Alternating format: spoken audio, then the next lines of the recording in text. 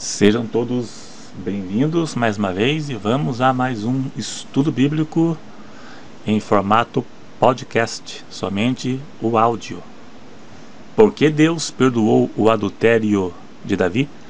Eu vou fazer um vídeo aqui no máximo 15 minutos, de forma resumida, meio compacto, mas que dá para compreender. Não vou ler citações bíblicas para não avançar demais, mas vai dar para compreender e a lição também que podemos extrair do assunto. Tem um ditado que diz que não existe regra sem exceção. Na Bíblia, somente Deus pode abrir exceções às regras.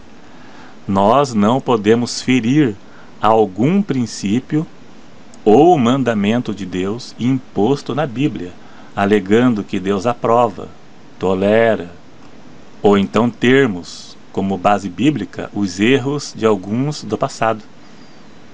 Nem tudo o que muitos deles fizeram foi aprovado por Deus. Muitos casos foi tolerado, mas não aceito e aprovado. E sofreram as consequências, mesmo Deus tendo os perdoado, como Sansão, Jacó, Noé e outros que erraram, se arrependeram Deus os perdoou, mas pagaram caro pelos seus erros. Muitos fazem questionamentos acerca de Davi ter sido perdoado do adultério, sendo que esse pecado era para ser condenado à morte. No Velho Testamento, o adultério era pena de morte, como também o homicídio Deus estabeleceu, Deus instituiu a pena de morte para quem quebrasse o sexto mandamento: não matarás. Então, o adultério, bem como o homicídio, era condenado à morte. E Davi cometeu os dois, o adultério e o homicídio. Então, por que Deus o poupou? Os inimigos de Deus usam estas passagens também para pôr em xeque o caráter de Deus. Se o caso de Davi tivesse sido tratado por juízes humanos, certamente Davi e Betseba teriam sido mortos. Porque o homem não conhece o coração dos homens, só Deus conhece o coração. Por isso o juízo foi diretamente com Deus, que Deus olhou para o lado interno de Davi então, o caso de Davi foi tratado diretamente com Deus, pois se tratava de uma pessoa diferente. Um ímpio que nunca teve comunhão com Deus e nem vai ter, seu arrependimento não passa de um remorso pela consequência do erro. Vou dar um exemplo. É o mesmo arrependimento de um ladrão que roubou um banco e foi preso. Daí perguntam para ele se ele está arrependido, e ele diz que sim. Mas o arrependimento dele não é por ter roubado, mas por não ter dado certo o seu roubo e ter acabado na cadeia. Se tivesse dado certo, ele não teria se arrependido. O arrependimento de Davi foi genuíno o arrependimento que leva à mudança, e não um remorso pela consequência que depois a pessoa passa a voltar a fazer tudo de novo. O ladrão que disse que se arrependeu, quando ele for solto, ele vai voltar a cometer crimes. A forma que Deus trata com um incrédulo não é a mesma forma que Deus trata com um que conhece a verdade. Isso vale para todos os tempos.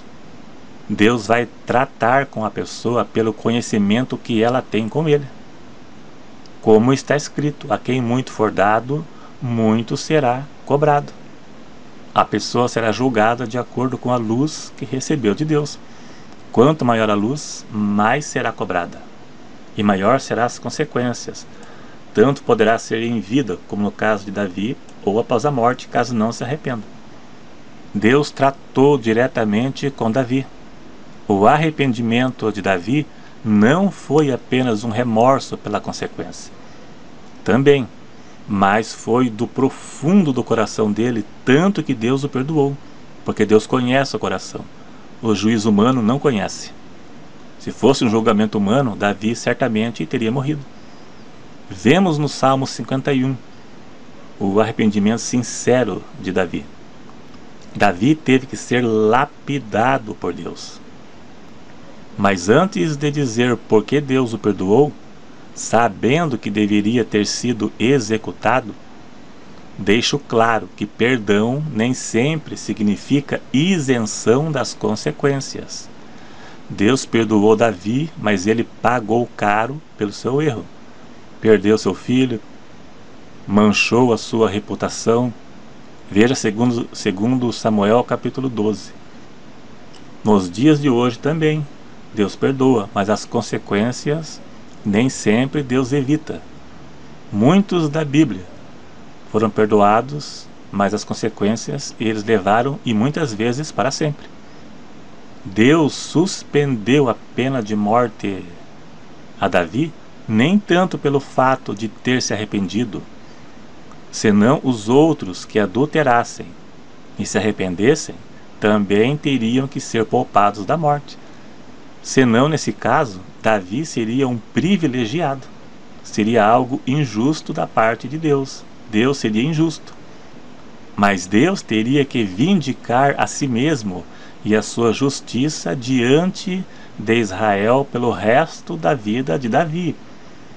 Veja bem que Deus tinha prometido que seu reino seria para sempre. Segundo Samuel 7, do 12 ao 16. Deus fez um concerto com Davi. Deus olhou para sua própria reputação diante do povo e soube lidar com o caso de Davi. Deus achou um coração arrependido em Davi, porque não foi o caso de Saul, que perdeu seu reino por não ter se arrependido. São dois casos distintos que muitos usam para fazer comparação contra Deus. Saul tinha um coração duro, se ele tivesse um coração semelhante ao de Davi, poderíamos crer que Deus tivesse o perdoado e não teria tirado seu reino. Deus repreendeu Saul por intermédio de Samuel, da mesma forma que repreendeu Davi por intermédio do profeta Natã. A diferença foi que Davi se arrependeu e Saul não. Deus também tratou com Saul. Deus sempre deu oportunidades para Saul. O que não é o assunto aqui, né? Por isso não vamos entrar no mérito da questão. Deus é soberano e trata com as pessoas como quer. Os inimigos de Deus sempre usam histórias como estas para pôr em xeque o caráter de Deus. Porque Deus descontou no filho dele, tirando a vida de seu filho? Pois se em Deuteronômio 24, 16 diz que os filhos não podem ser mortos por causa dos pais. Em Ezequiel 18 diz que os filhos não levam os pecados dos pais e os pais dos filhos. Então como é que fica? As consequências do pecado de Davi fez com que ele visse a gravidade e as consequências do seu erro. Se ele morresse, não teria tido todas as experiências de transformação e que foram registradas na Bíblia. Não foi a mesma coisa de um criminoso irrecuperável que foi executado e, caso não fosse, voltaria a cometer crimes.